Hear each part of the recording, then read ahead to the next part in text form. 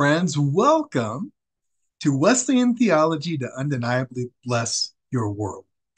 I'm Superintendent Mark Adams, Dr. Mark Adams, with the Network of Undeniable Blessing of the Free Methodist Church. And we've put together a series of lectures, a list of reading, some assignments, and a test that we believe will help equip you to understand Wesleyan theology in preparation for your journey as a leader and as a pastor in the Methodist movement. What we hope to accomplish during this particular series of lectures is to provide you with an overview of Wesleyan theology, the perspective of John Wesley, those that followed the Methodist movement, and of course the Free Methodist Church USA. Not just to know what it is to think Wesleyan, but to embrace the Free Methodist way, the Methodist mind and heart, and the passion for practical disciple making and the multiplication of leaders in churches. In this way, we believe that as you complete this course, Wesleyan Theology to Undeniably Bless Your World, you will be a more effective spiritual leader, more effective pastor, perhaps, and you will undoubtedly be better equipped to undeniably bless your world. Pretty excited about all of the classes that we'll be taking together. We have a number of instructors, and I'll introduce them in a moment. Today, not only am I, uh, Mark Adams, introducing this class, but we'll also be talking about the life and impact of John Wesley.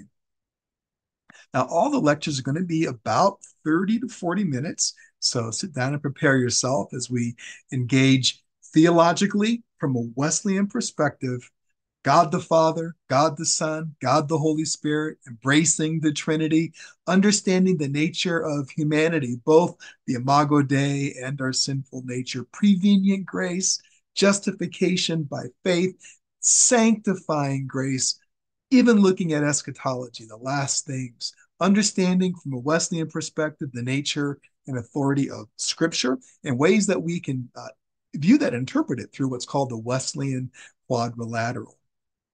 We'll be exploring the differences between uh, John Wesley and John Calvin, two kind of competing perspectives theologically that are um, very common uh, in the United States and around the world. We'll be looking at how Wesley approached faith and science, not an unimportant issue in our day, the way that Wesley and Wesleyan theologians and the Methodist Church of the years have embraced and approached the idea of social justice. And then finally, uh, most practically and perhaps engaging as you lead your church, the Wesleyan theological view of disciple making, how we make and multiply disciples, leaders, and churches. Leading all of these lectures are a diverse array of pastors from the network of undeniable blessing, the Free Methodist churches in Northern California and Nevada. And you will discover deep insights from the amazing Ben Martinez, pastoring from Hayward, uh, California at the Hayward Free Methodist Church, also a church planter, uh, business leader, and leading missions and church planting movements in the Philippines, as well as pastoring here in the USA.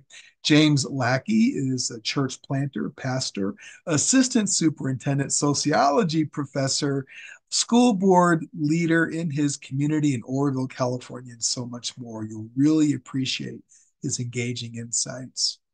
Jennifer Starr Revet is leading in Turlock, California. She has a vast experience as a church planter, a pastor, engaging even uh, at the highest levels of leadership in Washington, D.C. She is also an assistant superintendent in our network of churches. You will appreciate her insights. I'm teaching Dr. Mark Adams, superintending the Network of Undeniable Blessing. I've superintended for uh, eight years in the upper Midwest of the uh, North Central Conference and uh, pastored for decades in Chicago, uh, leading there, also teaching at Garrett uh, Evangelical Divinity School. And uh, that's also where I received my doctorate and we have Stuart Welch, who is uh, leading out of Modesto, California, with a long and fruitful ministry as a church planter, pastor, and business leader, owning and operating one of the most successful security businesses in Northern California, also having served as a police officer in Oakland, California for many, many years. Stuart is an engaging and amazing leader. I know you can hardly wait to hear from him. Benga Adeshida leads in Pleasant Hill, California. He also has been a church planter. Do you see a theme here? Almost everybody in the network of undeniables must be able to plant churches. That is, proclaim the good news of Jesus, make disciples, multiply groups, leaders, and churches. And Benga is among these. He's also an IT leader at the University of Berkeley, California. And then finally, last but certainly not least, is uh, Sam Manu, who is leading the West Coast Celebration Church in San Mateo, California. Probably the most diverse and youngest church in our network. Sam, uh, Tongan by birth and uh, bringing his incredible insights, love for family, and love for Jesus will be bringing you incredible insights regarding some of the practical ways in which we can embrace Wesleyan theology and see it permeate how we do things in practical and fruitful ways. Now, each one of these teachers, myself included, will be using different formats. And so every lesson, every lecture you see will look a little different, sound a little different, the formats would be a little different. We embrace this as the most diverse network, at least right now, in the Free Methodist Church USA. We want to empower people where they are, doing things as they do, led by the Holy Spirit in ways that are comfortable for them and yet fruitful in their context. So while the format is different and while some of what you see will sound a little different, uh, all of this is a cohesive plan to bring you Wesleyan theology to be an undeniable blessing to your world. There are some books that are necessary to be read for this course. These include The Theology of John Wesley Holy Love in the Shape of Grace by Kenneth J. Collins, several of selected 44 sermons by John Wesley, and a plain account of Christian perfection by John Wesley. These books are required reading, and you can find on our website links to purchase or, in many cases, download these texts as well.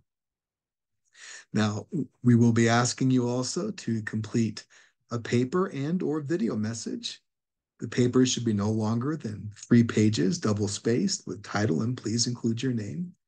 Or a video message that's no longer than 20 minutes and please identify yourself in the video. A few choices for topic of your paper. One choice, the Wesleyan way of salvation. Another, just choose a contemporary issue. And as you do, try to tie this into Wesleyan theological perspectives. And then finally, disciple making, Wesley style. How can you take the principles and practices of John Wesley, Wesleyan theology, and the Methodist Church to apply them to making disciples, shaping and forming followers of Jesus today? And then finally, there's a test that you must pass in order to earn credit for this class.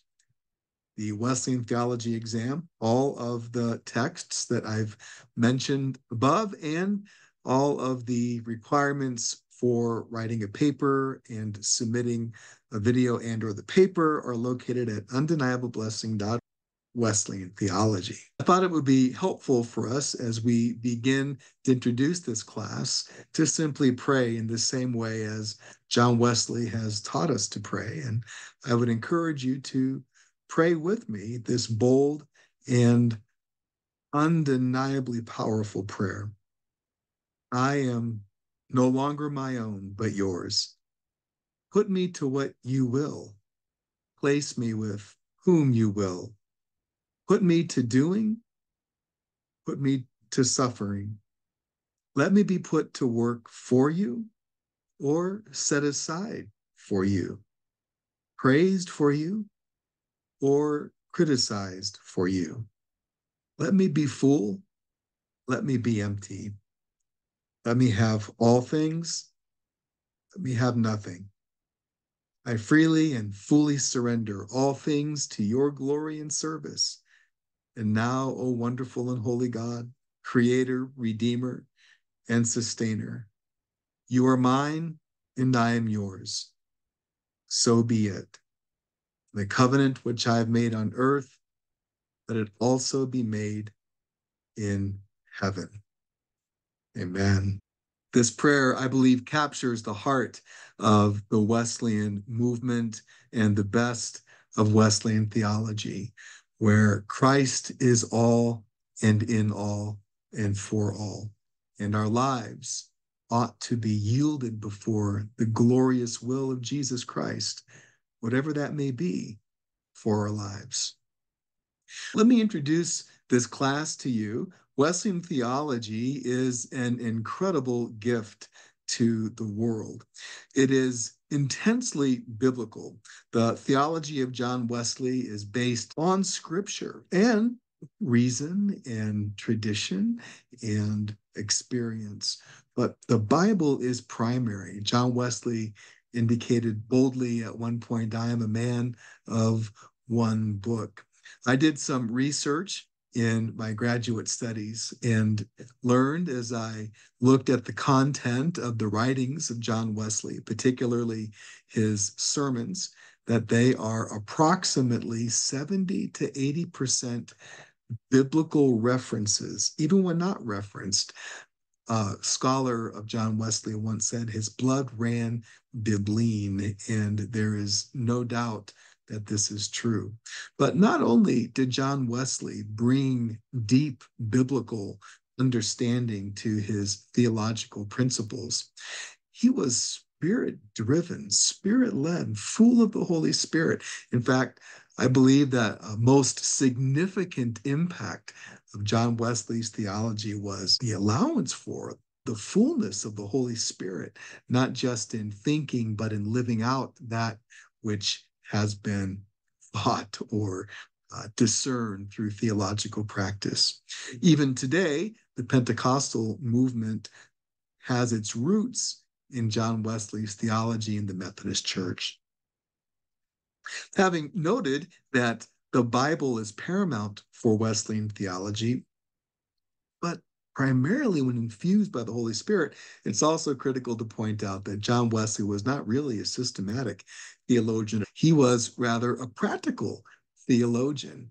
Virtually all of what he taught and did were intended to be able to be acted upon and answered primarily the questions of practice in his time and day. And thank goodness very much for our own time and day as well. So John Wesley was a practical theologian. And when we place his thought systematically into topics like God, Trinity, Scripture. That's not something John Wesley himself ever did.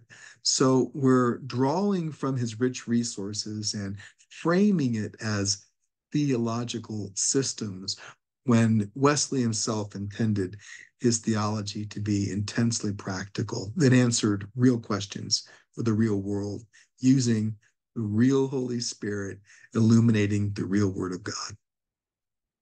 One of the amazing gifts of Wesleyan theology is how incredibly balanced it is. It is not esoteric, it is not merely practical, it does not lead us to have merely a life of prayer or merely a life of action, merely a life of intellect. No, it's all quite balanced. One of the things that drew me as a new follower of Jesus to the Wesleyan movement, the Wesleyan church, the Free Methodist church in specific, was how intensely balanced Methodist theology, Wesleyan theology really is. There is an incredible power to knowing that our, our mind can be illuminated by the scripture, that our heart can be set on fire by the Holy Spirit, and that our hands are empowered to do the works of Christ and to bear fruit for the kingdom. This balance that we have in Methodist theology has given it a robust impact, as we will see throughout this section of our lectures today. Ultimately, Wesleyan theology is a theology of grace and love. And you will see this writ large as you continue on. I have this interesting picture, something you may have seen a time or two in your life. I don't know what you see when you first look at it. Some would see a chalice or a cup. Some would see two faces looking at one another.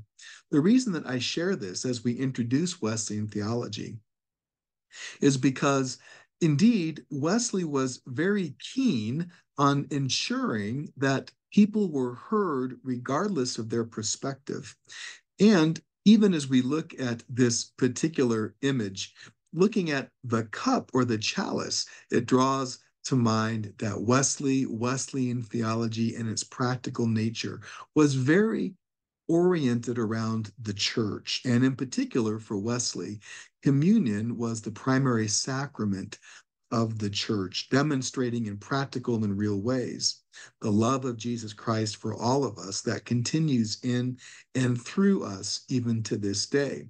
Uniting all of what Wesley taught and did, however, was love. And the image of two faces reminds me very much of the intimacy and love that we can have with God the Father, He with us as Abba, Father, and we with one another as brothers and sisters in Jesus Christ.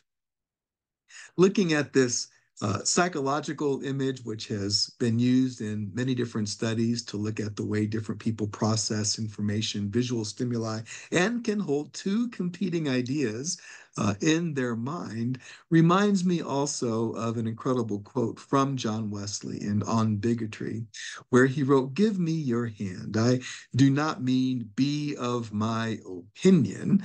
You need not. I do not expect it or desire it. Neither do I mean I will be of your opinion. I cannot. Keep your opinion, and I will keep mine. And that as steadily as ever. You need not endeavor to come over to me or bring me to you. Only give me your hand.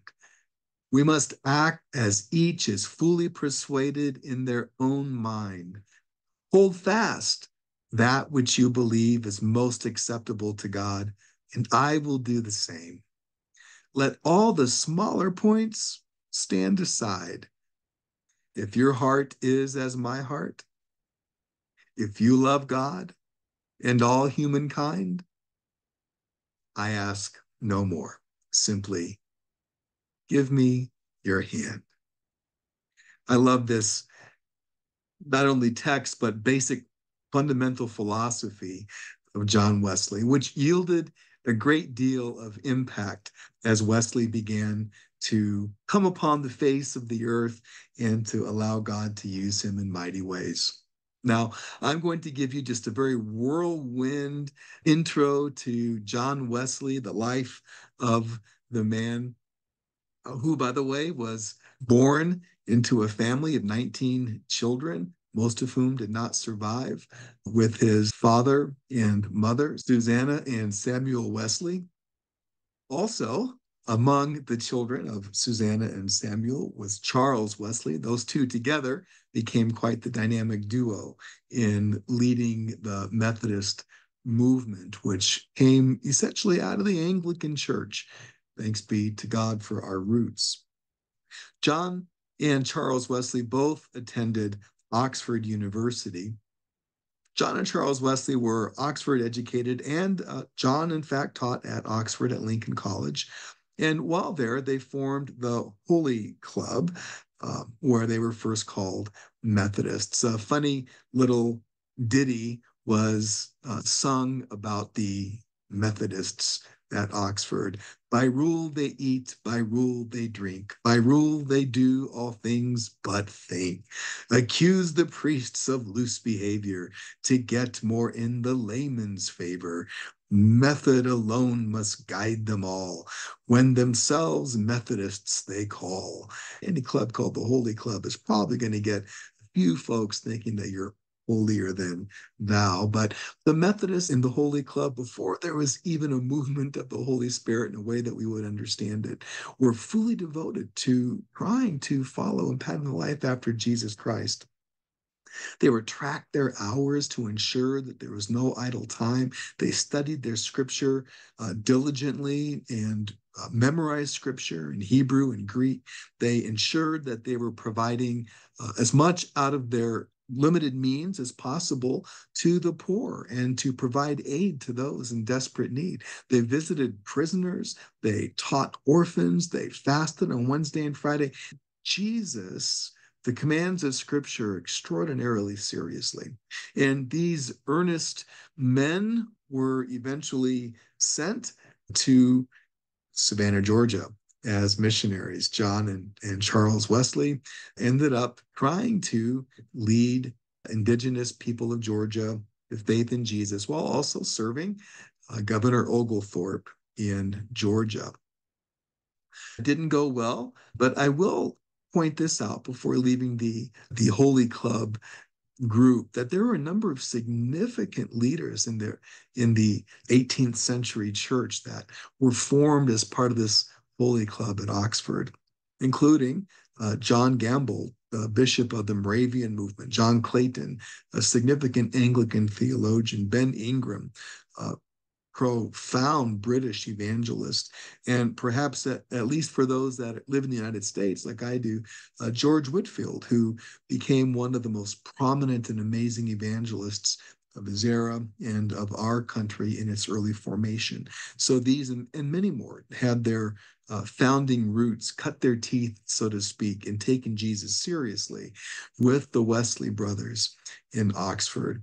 But as John Wesley was returning to England uh, from Georgia, dejected at having had limited success. He wrote in his journal, I went to America to convert the Indians, but oh, who shall convert me? Uh, an amazing, and I'll condense the story, event took place when a mighty storm arose on the boat, and uh, it was a very uh, life threatening and terrifying experience for John Wesley. But he noticed some Moravian, the offshoot of the Lutheran Church, Moravians who were in fact calm and praying and studying scripture and seemed not to fear even death itself. And this profoundly moved John Wesley, who upon return to England began to connect with the Moravians for Bible study in a number of places, including Gate Street, England, where London, England, where on May 24, 1738, um, he saw the light of his need to understand that salvation is not something that can be earned through your works, your deeds, seeking perfection through doing all the right things. And mind you, he had tried to do all the right things. The Holy Club was the epitome of all the right things, and yet his heart had not experienced uh, the fullness and peace of Jesus Christ and his compare and contrast with the Moravians brought that home for him. But then uh, on May 1738, I write, I read from Wesley's journal. While he was describing the change which God works in the heart through faith in Christ, I felt my heart strangely warmed. I felt I did trust in Christ alone for salvation, and an assurance was given me that He had taken away my sins, even mine, and saved me from the law of sin and death. This transformative experience for John Wesley led to a change in his life as a churchman ordained in the Church of England, still very much believing in all of the sacraments and practices of the church, began to uh, break stride with normal practice uh, and proclaim Jesus in the open air uh, to miners on their lunch break on hillsides in Bristol, England, to wherever he could bring the good news of Jesus Christ.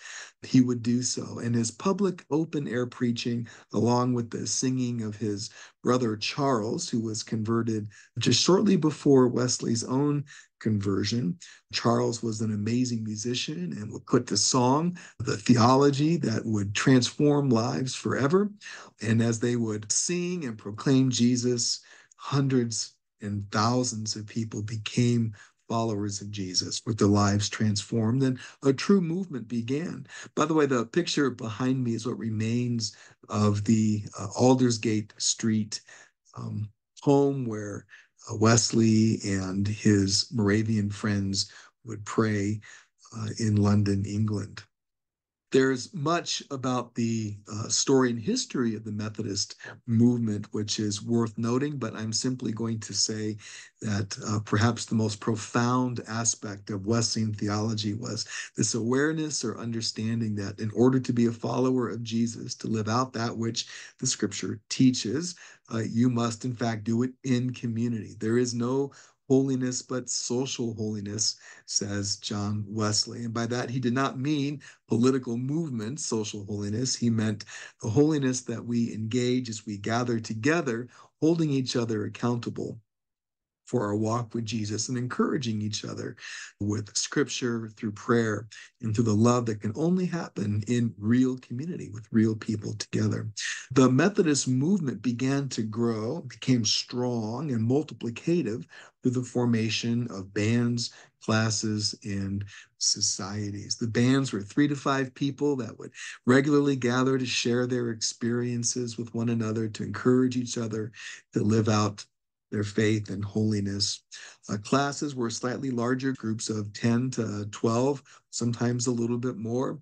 Uh, men and women not together, but in their own separate groups, receiving spiritual guidance from a class leader. And Wesley would, would be rolling in his grave today if he knew how many pastors were leading these small groups or classes. They were intended to be a lay empowered movement, and laity were intended to be leading these uh, class meetings where people would watch over one another in love and account for sin and holiness with scripture as the guide and the spirit as the empowerment.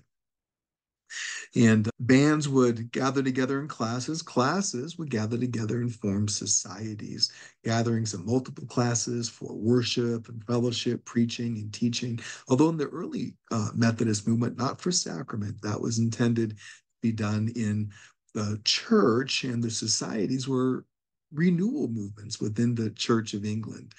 Although when Methodists were not welcome in the Church of England, they began to form as their own churches.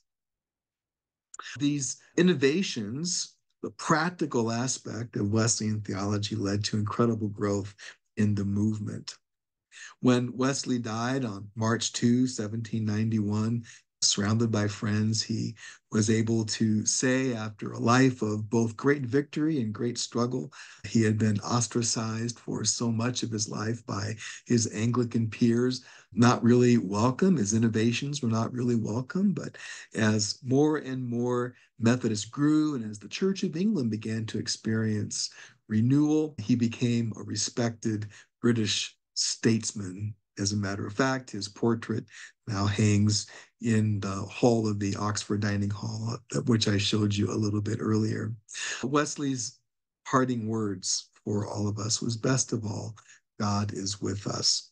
The impact that John Wesley uh, and the Methodist Church has had is quite profound. It extends far beyond the religious contributions, although that is mostly what we're studying in uh, our classes today. But John and his brother Charles and the Methodists were tireless in preaching and writing and organizing. They left an indelible mark on the word through not just theology, but also social reform and education, contributions to science and to music the theological teachings revolutionized Christianity at the time, particularly within the Anglican Church, but around the world. The basic concept that one must have personal faith in a personal God, a primary tenet of the evangelical movement today, was brought to life with real power through the Wesleyan movement. empowerment of the Holy Spirit, manifestations of the Spirit in ways that today we would say were clearly charismatic, were uh, incredibly important to the early Methodist movement, who often got the, the, the title Holy Rollers. And that for a reason. Although John Wesley was a man of significant order, nonetheless, there was no stopping outflows of the Holy Spirit that were uncontainable. The way that Wesley developed his bands and classes and societies was organizational genius, uh, which continues to impact churches today in profound ways. But perhaps in terms of theology, the most important contribution of John Wesley is this concept of Christian perfection or of Christian holiness that is actually attainable in the world today, not through our actions, but received by grace through faith. Wesleyan theology is almost certainly the most optimistic theological framework in Christendom today. There is an actual belief, and many have experienced a fullness of the Holy Spirit which can lead to manifestations of spiritual gifts. Uh, but that's not the emphasis of the fullness of the Holy Spirit. For Wesley, and indeed we believe for Scripture, it is a fullness of love. The idea that you can receive by grace through faith the gift of the fullness of the Holy Spirit that allows you not just to try to love God with all your heart, mind, soul, and strength, but actually love God and not just try to love your neighbor as you love yourself, but actually love your neighbor. This fullness of love is the heart, of the optimistic heart, the incredibly profound heart of Wesleyan theology. That you really can be so full of Christ that Christ lives in and through you, and that is expressed above all through love. Now, I just want to point out a few aspects of the impact of John Wesley and of his life.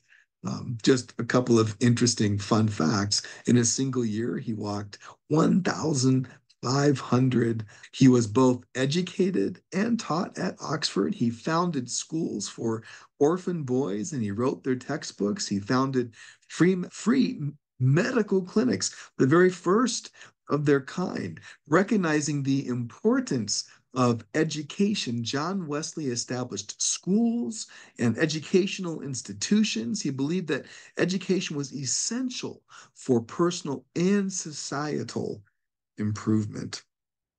For example, the Kingswood School, founded by John and Charles Wesley, provided education to children from lower socioeconomic backgrounds who otherwise cannot receive education and yet through this means could become leaders in their communities, significantly impacting the world. Uh, when we think of the Wesleys, uh, Oxford educated Wesleys, it's critical to recognize that not only did they believe that education was important, but they believed in making it practically available to as many people as possible, especially to the poor. John Wesley also was quite significant in his writing and contributions to the world of both science, literature, as well as theology. He published 233 original works on a variety of subjects. And again, not just the Bible, but the four volume history of England, a scientific treatise on fauna, birds, beasts, and insects, Primitive Physic. It was the most popular home medical guide of the time.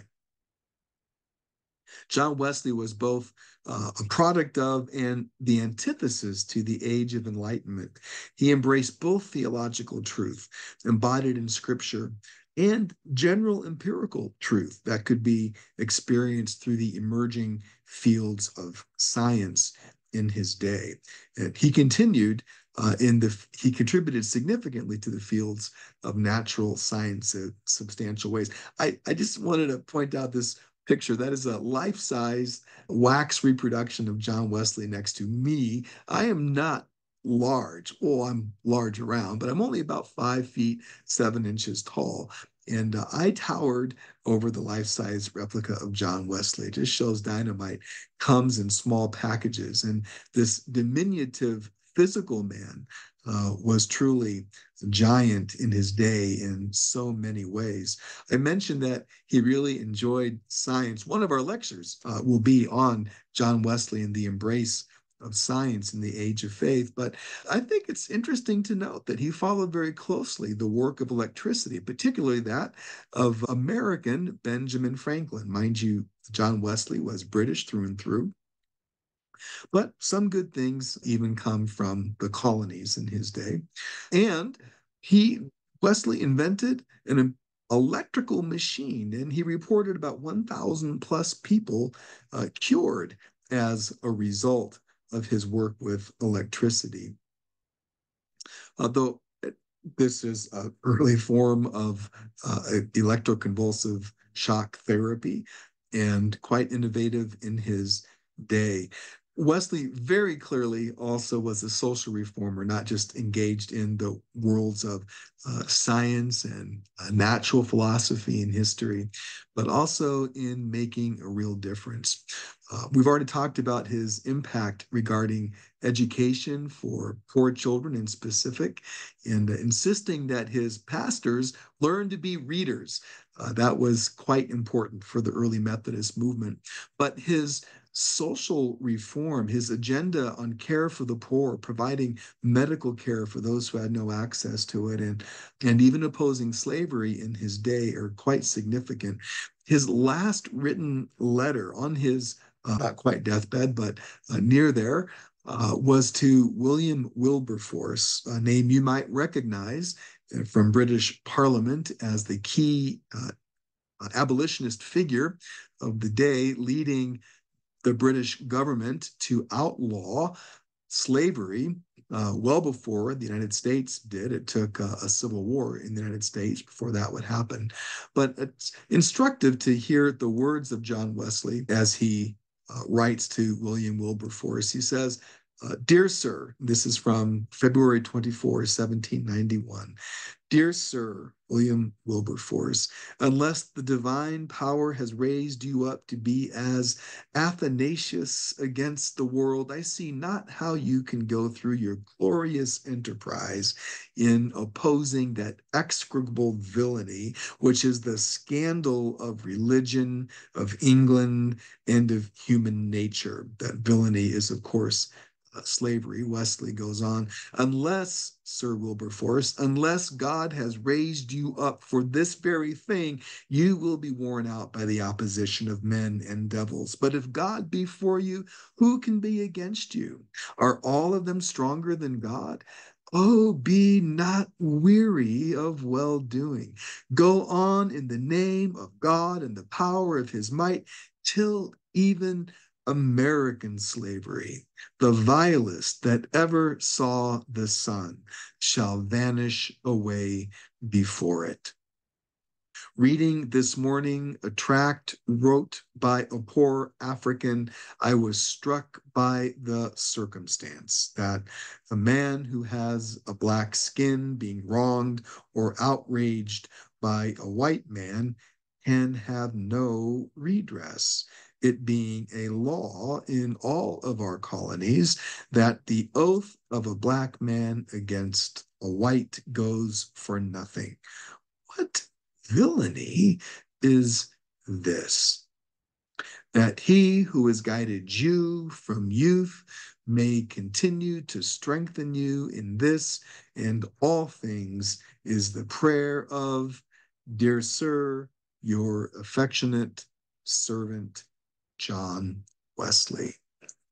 As we've seen Wesley's incredible impact in theology, in practical natures of church, in science, uh, natural philosophy, social reforms, uh, it is also important to point out that uh, Methodism is a singing religion, and uh, John was accompanied by his brother Charles, uh, usually very much together um, not always seeing eye to eye, but usually very much together uh, in terms of theology and the practical nature of church. But Charles Wesley was a profound musician, and the hymns of the Wesleys, Charles in specific, had a profound impact on Christian worship and music, even to today. Charles Wesley's prolific uh, output included 6,000 hymns with timeless titles like Hark the Herald Angels Sing, and Can It Be? Oh, for a thousand tongues to sing. Um, these songs continue to inspire and uplift congregations worldwide. And perhaps you've sung them yourself. When Charles was converted to faith in Jesus, he wrote the song, And Can It Be? And can it be that I should gain an interest in my Savior's blood? Died he for me who caused his pain, for me who scorned his perfect love. Amazing love, how can it be that you, my God, wouldst die for me? Amazing love, how can it be that you, my God, wouldst die for me? I love that song. A year later, by the way, uh, John and Charles were remembering their uh, conversions together and wrote the song that uh, would become the number one song, uh, not only in popularity in uh, in the time, but also literally number one. It's the number one song on almost every Methodist hymnal um, from the uh, early formation of the Methodist movement through the end of the 19th century. And that number one song is Oh, for a Thousand Tongues to Sing. Uh, 18 stanzas originally, and uh, commemorating a one year anniversary of salvation by grace through faith. Oh, for a thousand tongues to sing my dear Redeemer's praise, the glories of my God and King, the triumphs of his grace. He breaks the power of canceled sin. He sets the prisoners free. His blood can make the foulest clean. His blood availed for me. And what would Christmas be without Hark the herald angels sing, glory to the newborn King, peace on earth and mercy mild, God and sinners reconciled. And what would Easter be without Christ the Lord is risen today? I could go on and on. The impact of the Wesleys on worship, the music of worship, the way that we encapsulate and capture uh, our theology today through song is profound. And if not the words themselves, the very idea that an evangelistic, spirit filled movement must be accompanied with songs which ignite the heart as well as inspire the mind uh, continue to be one of the most significant impacts of the Wesleyan movement for us today. Now, I'm going to close out this little section introducing the impact of the Wesleys and Wesleyan theology with just a, a, few quotes. I love these quotes from John Wesley, and perhaps you've heard them too. Do all the good you can by all the means you can, in all the ways you can, in all the places you can, at all the times you can, to all the people you can, as long as you ever can. Have not, you have nothing to do but save souls. Therefore, spend and be spent in this work. And go not to those that need you, but to those that need you most. It is not your business to preach so many times and take care of this or that society, but to save as many souls as you can, to bring as many sinners as you possibly can to repentance. And Wesley's perspective on education and knowledge, um, we could provide so many quotes, but I just love these uh, three little ones that I, I believe you'll appreciate as well. It cannot be that the people should grow in grace unless, unless they give themselves to reading. A reading people will always be a knowing people. And elsewhere, Wesley says, and I love it, but think and beware that you be not swallowed up in books. An ounce of love is worth a pound of knowledge. And finally, just a couple more. Having first gained all you can, and secondly, saved all you can, then give all you can. I've already quoted this the gospel of Christ knows of no religion but social, no holiness but social. Again, intended to keep us together in community. And in this regard, by the way, we will be engaged in the world around us. And a fun quote that uh, is often attributed to anybody but John Wesley. Sometimes it's even attributed to Abraham Lincoln or the Bible, but it's not. John Wesley said, Cleanliness is next. For me, as a superintendent of churches, as somebody who has pastored for decades, uh, has been a church planter, uh, this is uh, a quote from John Wesley that I've taken to heart day in and day out. Give me 100 preachers who fear nothing but sin and desire nothing but God. And I care not whether they be clergymen or laymen. They alone will shake the gates of hell and set up the kingdom of heaven on earth. Indeed, in the network of undeniable blessing, the majority of those that are planting churches and uh, commissioned as pastors in communities are not ordained clergy. They may be on the path to ordination, uh, but that's a long path. They are lay persons, lay men and women, uh, carpenters, house cleaners, store managers, teachers, who are empowered by the Holy Spirit to share the good news of Jesus and fear nothing but sin and desire nothing but God. Consequently, uh, we've been able to see some significant growth in the network of undeniable blessing, just living out the basic tenets of Scripture and clinging to Wesleyan theology in significant and real practical ways. As we conclude, the impact of John Wesley, Wesleyan theology upon the world has been profound. We are just one, the strand of Wesleyan theology and of Methodism is just one of uh, many different strands within the Church of Jesus Christ. And uh, even as I uh, began the lecture, John Wesley understands that. And uh, just give me your hand. We don't have to think or, or do the same things. Just let us follow Jesus together, loving God and loving neighbor. But the family tree of the Methodist Church is significant uh, to the degree that today there are over 80 million people in the world that, that would refer to themselves as Methodists of one stripe or another. 13 million of those are in the United Methodist Church, the largest single Methodist group, uh, merger of the United Brethren and Methodist Episcopal Church in the mid 1900s.